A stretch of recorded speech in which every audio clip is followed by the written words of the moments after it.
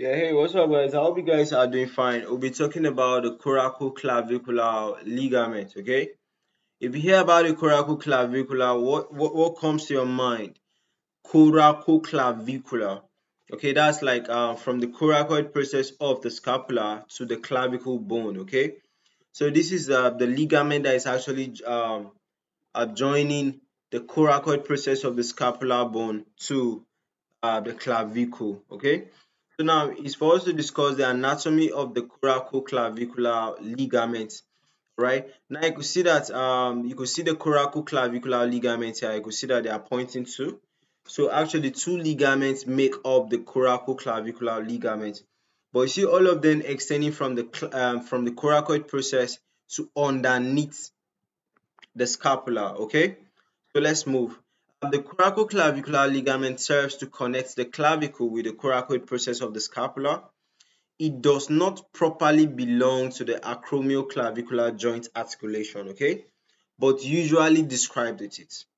Now, since it forms a most efficient accessory ligament, maintaining a position of clavicle to the acromion, okay?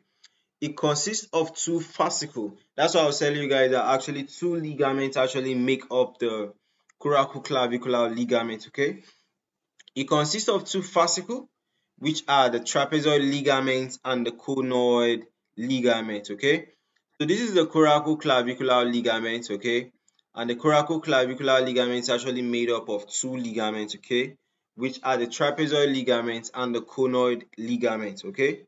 Now, um, let's talk about these um, ligaments individually and the trapezoid ligament is anterolaterally placed at the joint, almost horizontally, okay, and is quadrilateral in shape, okay, while the conoid ligament is posteromedial, okay, and is dense, okay, and almost vertically placed, okay. So let's see, guys. Um, you can see uh, this is the conoid, okay, almost vertical, okay, there you could see this is uh, the trapezoid. It is quadrilateral. It has like four sides. Okay, so that's it. Um, let's keep moving. And the two the two fascicles are in relations anteriorly with the subclavius and deltoid muscles, and posteriorly with the trapezius. Okay. Uh, the trapezoid ligament spans between the superior surface of the coracoid process and the trapezoid line on the inner surface of the clavicle. Okay, let me repeat this again. The trapezoid ligament spans between the superior surface of the coracoid process, okay, and the trapezoid line on the inferior.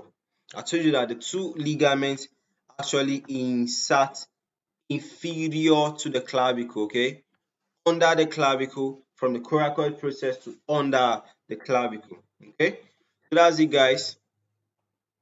Um this is just an image showing the shoulder joint not really showing all the ligaments that we need to actually describe okay? So that's it guys for this lecture and see you guys in the next one. Bye for now